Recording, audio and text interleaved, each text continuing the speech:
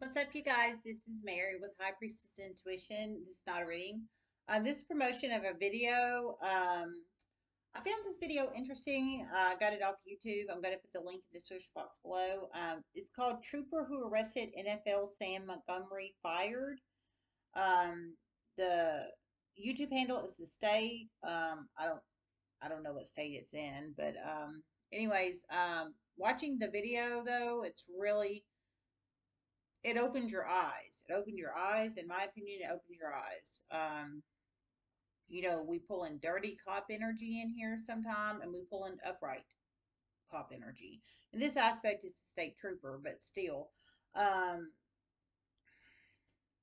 I just I'm going to post it below because I was in there chilling, just chillaxing, and I come across for some reason this video hit my feed. For some reason. I don't know why, but it did. But it's very eye opening and it flashes me back to last October when I got arrested. Um, and I will still release that video footage after I get out of all this crap in August. And that's just the truth. I, I that's my plans and I'm going to do it. But um, it's eye opening if anybody wants to see it. Uh, links in the description box below. Love you guys so much. Namaste.